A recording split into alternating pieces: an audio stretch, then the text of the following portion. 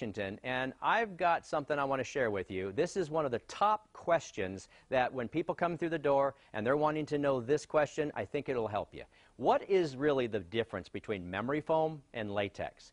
That's kind of a simple question for me, but when you're looking for mattresses and you want to have a great night's rest, it's something that needs to be addressed. Well, the first thing is, is if I have memory foam in my hand and I open up my hand quickly, it kind of has a delay reaction. It's slow to open up. On the other hand, latex is different. When I open up my hand, it's instantaneous to conform. And so it is absolutely no delay reaction whatsoever.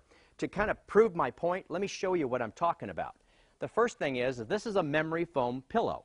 With a memory foam pillow, if I depress here and release quickly, you can see that it comes back very, very slowly.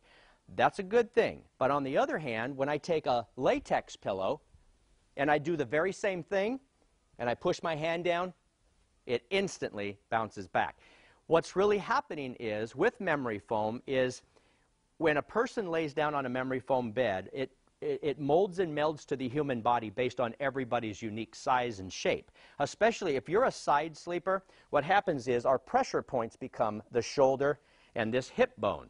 And if you're on a memory foam mattress, what it does is it will completely mold and meld to the human body, again, based on everybody's unique size and shape. That is a good thing, but for some people, that delay is not always something that they're thinking of. It's, it's different than the traditional mattress. However, on a latex bed, it instantly conforms to the body, and there's no delay whatsoever. The other thing I want to address is simply this.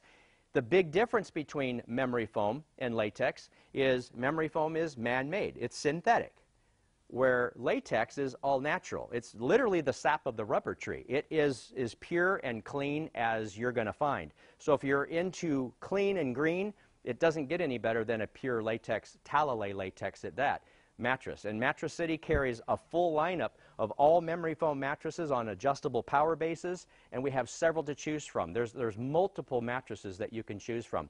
You know, the one thing that you want to do, though, especially very, very important, is instead of just thinking about is memory foam better for you or is latex the option for you, it's really necessary to come in, let us work with you, lay on some beds, and we will be able to see for ourselves, and you certainly will too, as to exactly the right comfort support mattress for you. So all I simply tell you to do is come in and see my wife Julie and I We'll be happy to help you out. Thanks for listening. Hi, it's Stuart Patey, owner and founder of Mattress City here on Everett Mall Way in Everett, Washington, and I've got something I want to share with you. This is one of the top questions that when people come through the door and they're wanting to know this question, I think it'll help you.